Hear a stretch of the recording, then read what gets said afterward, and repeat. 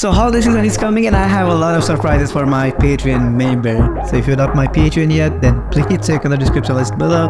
And today we're to create a very simple poster design and I'm testing our brand new LUT. So if you love designing and if you haven't subscribed my channel yet, then please do subscribe. And that turns to cover. So without any further ado, let's dive into the video.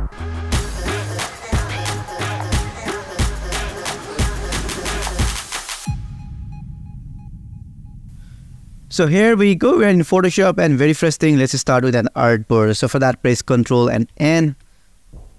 And I'm going for 4x5, resolution to 300, color mode to RGB, bitrate to 8, and let's keep the rest as default and let's click on create.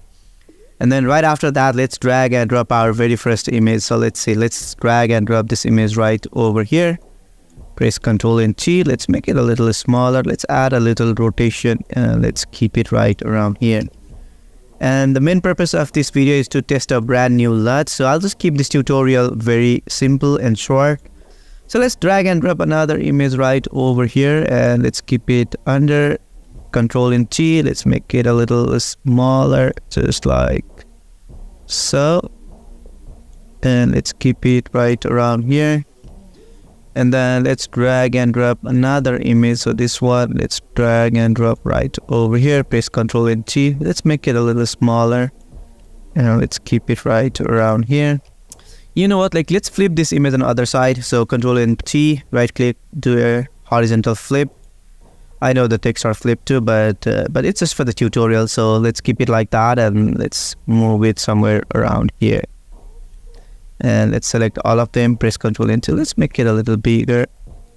Here we go and let's repeat right around here.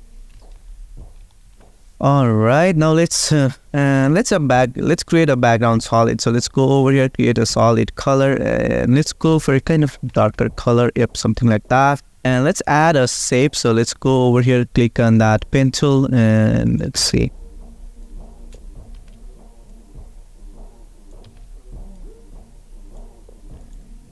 just like so and let's change let's give it a kind of darker color.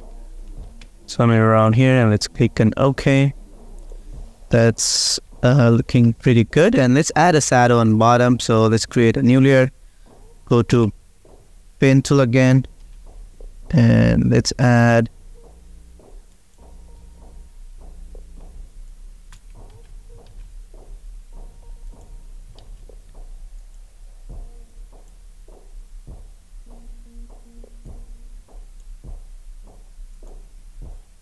uh, let's give it a kind of darker color yep something like this.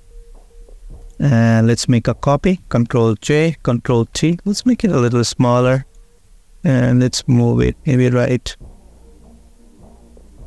around here.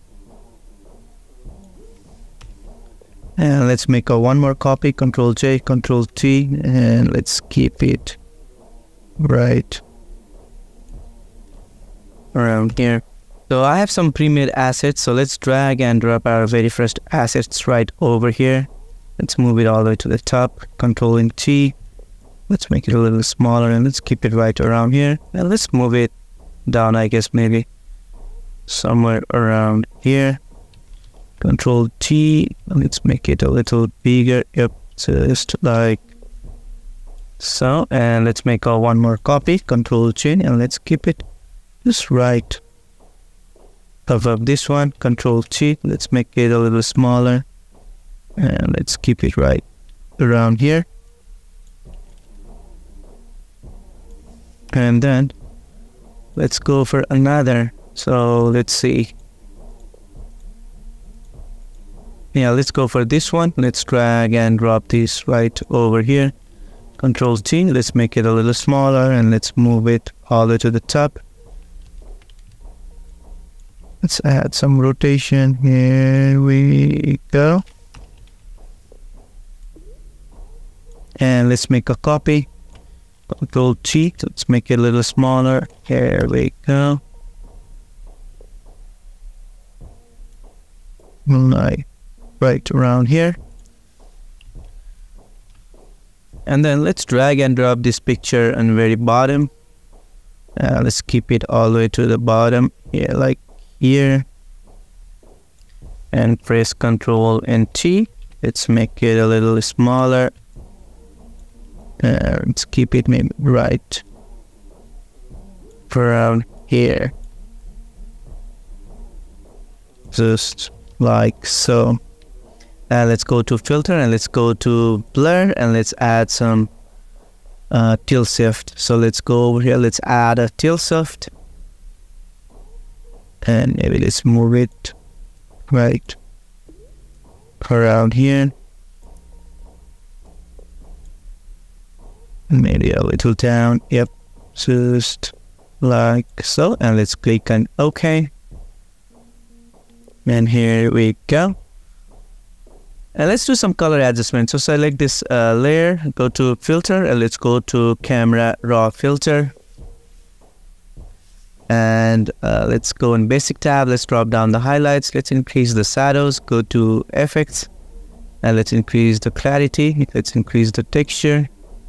And let's go to color. And let's drop down the vibrance a little bit. Yep just like so. And let's click on ok. Uh, let's do the same thing for this image. So select this one filter camera raw filter and let's try applying the previous setting and let's see how it looks. I think this looks pretty good but let's increase the shadow some more. Maybe exposure a little bit. Yep just like so. And let's click on ok. And let's do the same thing for this image. Filter camera raw filter. Uh, let's try applying previous setting. And let's keep it like that. And let's click on ok. Now let's add a LUT and very top and let's add a colored LUT on very top and this LUT is especially for my patreon members. So let's go over here click on lookup and from here click on load. So i'm going to apply this LUT so select this one and click on load. And this is what we got. And and so this is what we got. And let's go on uh, very top. Let's create a new layer. Go to brush. And let's go for a general soft brush. And let's add some highlights so here we go. Let's uh, change the blending mode to screen. And let's drop down the opacity a little bit and maybe flow maybe around 65 let's add some highlights and right over here.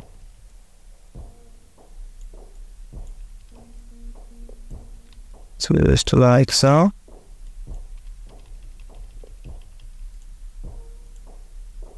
And then let's go for kind of warmer color. There we go, create a new layer and again let's add some highlights right around here. Let's change the blending mode to screen. Or let's go for a soft light I guess. So maybe let's increase the opacity some more.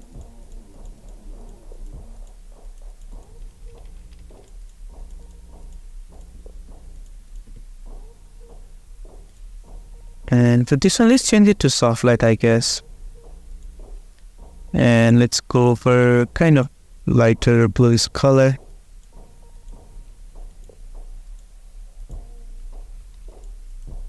Here we go. Now let's drag and drop this texture on very top. And let's change the blending mode to soft light press ctrl and t. Let's make it a little bigger. There we go. You know what? Like change some blending mode to screen i guess. Let's it to screen.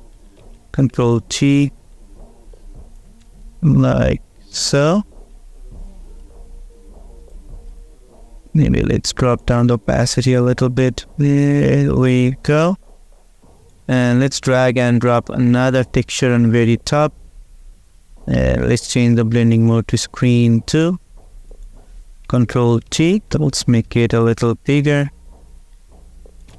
And let's create a layer mask go to brush and make sure make sure the color.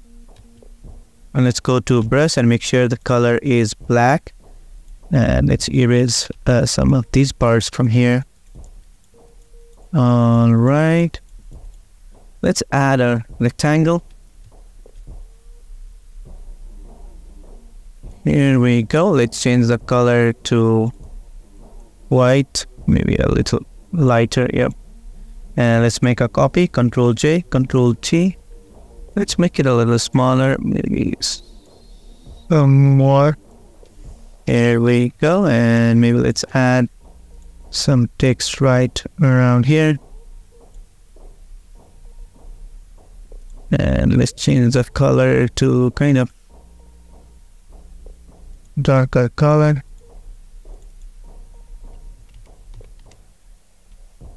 Just like so, and and let's drag and drop this picture right over here. Let's keep it just above that rectangle and press Alt and click in between those layers and let's create a clipping mask and press Ctrl and T. Let's make it a little smaller. Let's bring it down and let's keep everything inside our group. Ctrl G and let's rename it as a picture frame. And let's keep it under this image. Or maybe yeah let's keep it right over here. Press ctrl and t. Let's add a little rotation. Let's keep it right over here. Let's make it a little smaller. Just like so and maybe let's make a copy. Control j control t. Let's add a rotation and let's keep it right around here. Make it right around here just like so. Now let's drag and drop this image right over here. And then let's replace this image. So right click create clipping mask control T let's make it a little bigger. Yep just like so. Maybe some more. Here we go. And let's merge this group. So press ctrl and E and control T. Let's do a warp. Somewhere something like that. There we go. And let's move this right under uh, control T. Let's keep it right around here. And let's add some text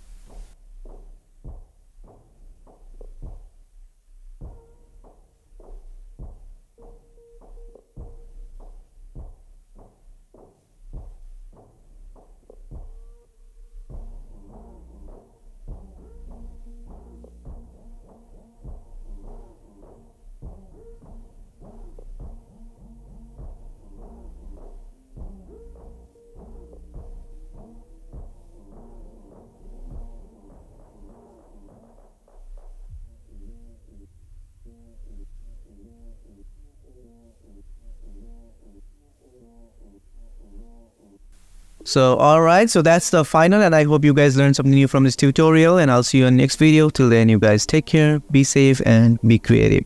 Bye bye.